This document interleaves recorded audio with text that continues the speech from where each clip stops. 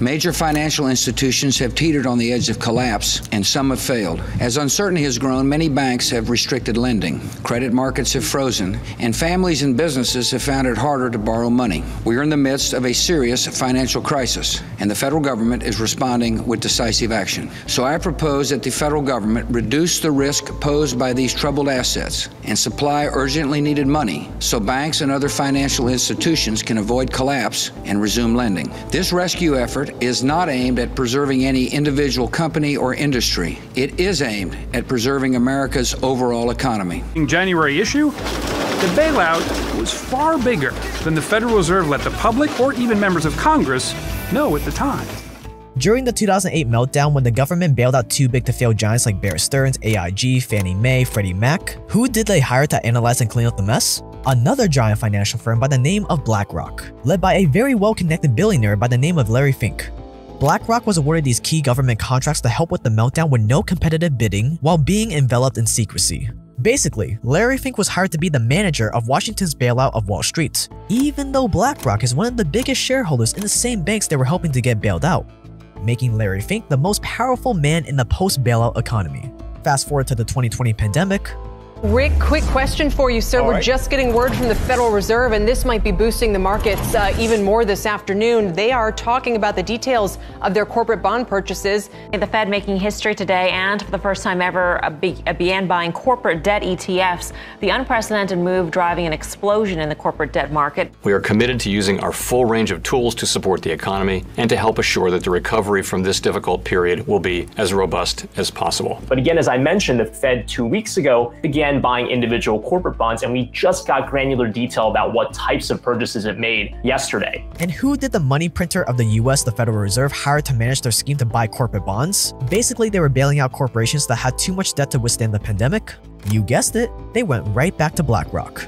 Even though again, the same corporations BlackRock was helping to bail out were the same corporations that they own some of the biggest stakes in. Keep in mind, though, these are just the top 10 holdings. The whole list, which the Fed has published on the New York Fed website, includes 794 companies. So, yes, these are just the top 10 by holdings, but there are hundreds of other companies that could be part of the Fed's portfolio as well. Larry Fink was the most powerful man in the post-bailout economy, and now he's arguably one of the most powerful men in the post-pandemic economy as well. And yet, despite all his considerable power, the general public has practically never heard of Larry Fink, with BlackRock barely coming into the public eye during the recent claims that they were buying up single-family homes. That's because Larry is smart. He's intentionally kept it that way. He spent the last 33 years building BlackRock into the biggest asset manager in the world, with over $9 trillion under their management. Not billion, trillion with a T. Today, BlackRock's clients include the retirement accounts of average everyday people in the form of pension funds. They also have sovereign wealth funds as their clients, other central banks, college endowments, Fortune 500 companies, and millions of individual investors. They're one of the top shareholders of many of the biggest publicly traded companies like Apple, Microsoft, Facebook, and even other major banks like Wells Fargo and Chase. And to put their $9 trillion into perspective, the 300 largest pension funds in the world only hold a collective $6 trillion. Vanguard, the behemoth behind mutual funds and ETFs, trails behind BlackRock with only 7.1 trillion under management. And if you put the big three asset management firms together, BlackRock, Vanguard, and State Street, they control a collective $15 trillion, roughly equivalent to nearly 70% of the US's GDP. And Larry Fink has done all of this largely in the shadows, with just a few occasional interviews and appearances on CNBC. He's like the Wizard of Oz, the man behind the curtain, as William Cohan puts it, a former investment banker and author of House of Cards, an account of the Bear Stearns collapse. This is BlackRock, what some call the most influential financial institution in the world, the world's largest shadow bank, and perhaps the company that owns the world. When Larry Fink was asked by Bloomberg if it's true that he's the most powerful man in finance, the man responsible for $9 trillion tried to convince you otherwise. That quote, I don't think of myself as powerful, end quote. Is that true? Does BlackRock own the world? Well, it's a little bit complicated.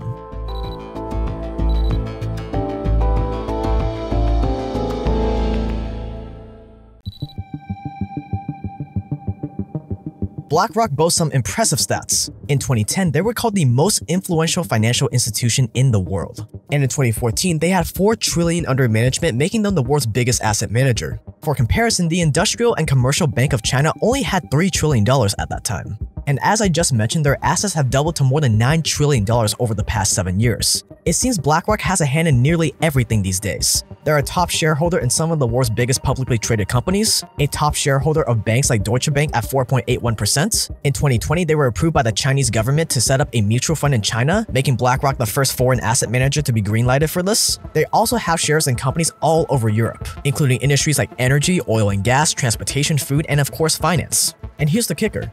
BlackRock has what's called circular ownership, where they own shares in companies that own shares in BlackRock. Definitely not a conflict of interest. So they're literally everywhere. Because of their staggering size and power and the fact that they largely operate out of sight, BlackRock has been called the world's largest shadow bank. The question is, what makes someone build something this big?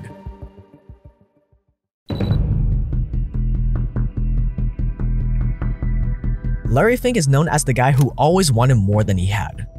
Friends have called him obsessive, paranoid about maintaining control. He's been regarded as someone who knows the markets inside and out and understands business backwards and forwards. But it took him a massive $100 million loss to get to this point. Larry majored in political science at UCLA and got his start on Wall Street at age 23. Having that edge in politics would later play a crucial role in him being the de facto middleman between Washington and Wall Street. He received offers from some of the top investment banks, but decided on First Boston, where he worked on structuring and trading bonds, which sounds incredibly interesting. He rose up the ranks quickly and within a decade, he became somewhat of a legend on Wall Street by helping develop the debt securitization market, where loans like car loans, credit card loans, mortgages would be bundled together, sliced into pieces, and sold to other investors. If this sounds familiar, it's because these are the same mortgage-backed securities that led to the 2008 meltdown. But before that happened, this securitization of debt was considered really innovative, and it transformed the face of finance. All of a sudden, if you're a giant bank or pension fund or whatever that wants to invest in the housing market, you can now invest in a mortgage-backed security made up of thousands of hopefully safe loans. Larry Fink created one of the main tools that led to the meltdown, and he was also the one the US Treasury hired to clean it up. His interest in policy and strategic wizardry helped him gain a reputation as a true investment mastermind, and for that he was rewarded.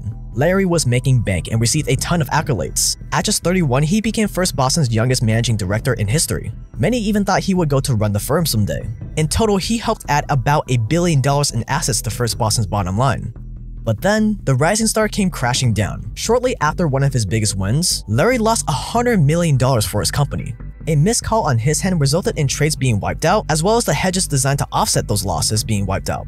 And overnight, Larry went from a hero to a toxic asset that should be avoided at all times. He was ostracized, his reputation went up in flames, and his colleagues wanted nothing to do with him. He was forced out of the company he spent 12 years making around a billion dollars for. While a catastrophe like this might mark the end for many people, that wasn't the case with Larry. Instead, he used it as ammunition, vowing to never find himself in a position where he didn't understand the risk he was taking again. And in 1988, he was 35 and hell-bent on rebooting his career. So Larry co-founded the Blackstone Group, along with now billionaire investor Stephen Schwarzman. They started off with a $5 million line of credit. Fast forward to 1993, and they were crushing it with $20 billion under management. But in what some would call a power struggle between Fink and Schwarzman, where two super strong personalities collided, the two parted ways and Larry broke off to found BlackRock, channeling all his pain and trauma into growing the firm at a staggering rate. By 1999, it went public for 375 million. By 2004, it merged with Merrill Lynch, adding half a trillion dollars to BlackRock's assets. And today, it's at 9 trillion. While the size of BlackRock is impressive, what really sets them apart is their software platform called Aladdin, basically a supercomputer they use for their clients.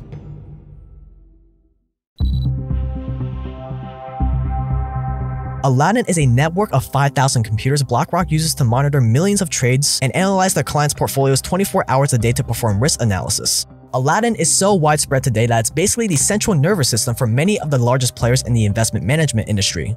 And for them to be able to offer the service, they have to be granted access to sensitive data from banks, insurance companies, pension funds, and other important institutions all over the world. This high-end computer farm literally goes over every possible scenario and pinpoints anything that could possibly go wrong, allowing their clients to make the best investment decisions. And it's through Aladdin that BlackRock actually oversees more like $21 trillion worth of assets instead of just 9 trillion. And that's just from a third of Aladdin's 240 clients which means that one company, BlackRock, has an eye on the equivalent of at least 10% of all the stocks and bonds in the world.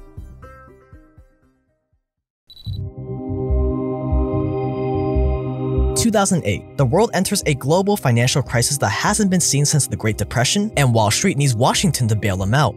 Who do they call to manage the bailout? As you already know, BlackRock. The New York Fed personally went to Larry to help manage $30 billion in toxic assets from Bear Stearns. They brought BlackRock in to advise them on how to handle the $100 billion of toxic assets from AIG. They even contracted BlackRock to deal with the $301 billion of Citigroup's assets, all of which were done behind closed doors with no competitive bidding. And just like that, Larry was more powerful than ever. He went from being the laughingstock of finance to being the linchpin between Wall Street and Washington. As one bank executive said, Larry has always wanted to be important, and now he's more important than he ever dreamed of, and he's loving it. In the end, they made at least $200 million off of these contracts in total. The massive size of these contracts, the secrecy surrounding them, and BlackRock's enormous influence started getting people talking. Quote, it's like the Blackwater of finance, almost a shadow government. Blackwater as in the most infamous private military contractor during the War on Terror. Check out our mini documentary on them to learn more, link below. Now, on the surface, this may sound bad. This may sound pretty shady and corrupt. But if you think about it, if the government is going to step in, which they are, even though I don't completely agree with that, what else are they going to do? They're at least partially responsible for this mess for setting such low interest rates, so they're obviously already incompetent. They're not experts in things like mortgage-backed securities, so why wouldn't they go to the man that is an expert that helped pioneer these things in the first place? I'm not saying it isn't shady and corrupt. I'm just saying that giving these million dollar contracts to a man like Larry Fink is understandable.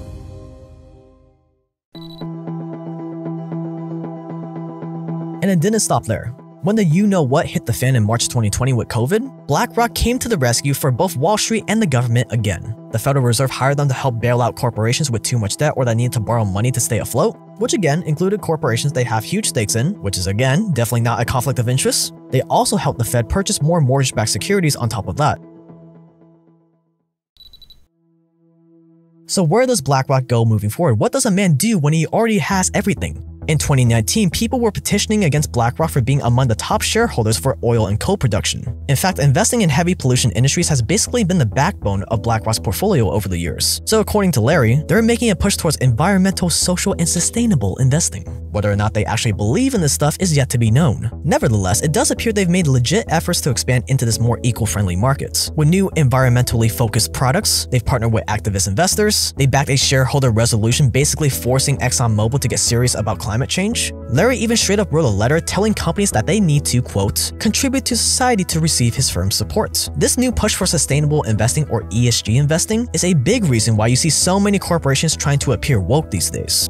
If you want to invest in a company, they will, on their investor relations page, they'll show you their ESG score. ESG stands for environmental, social, corporate governance. And this is where the woke culture comes from. So they've created this kind of phony baloney rating system that says, well, if you, I'm, I'm exaggerating, but if you mention that you are, you know, uh, have a green agenda and you, and you believe in carbon credits and you might trade some credits somewhere, then you get a higher score and therefore you're more investable. And it's very interesting interesting to see how big investors like insurance company, institutional investors, they are steering away from anything that does not have the right ESG rating. And so in order to uh, have investors continue to be interested in the stock, which is important for the company, for its perception, certainly for the uh, the officers of the company and the shareholders, uh, you have to move this move this along continuously. And so it's very simple to see why doing a woke ad as Nike or as any other company, um, and and uh, Pride Month is fantastic because you could. I mean, pride is easy. Throw up some flags, show the right people, trans, right, whatever, right. and you got a high ESG score.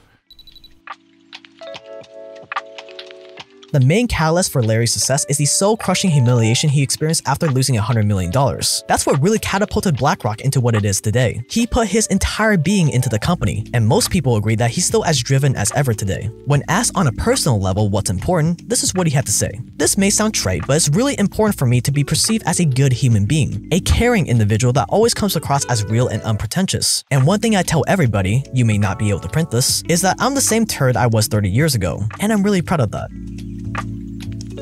If there is indeed an American oligarchy today, Larry Fink would definitely be one of them. But is he a good oligarch or a bad one? Are they just putting on a show to keep the public at bay? How influential is BlackRock really? How much control over the world do they really have? Let me know what you think in the comments below.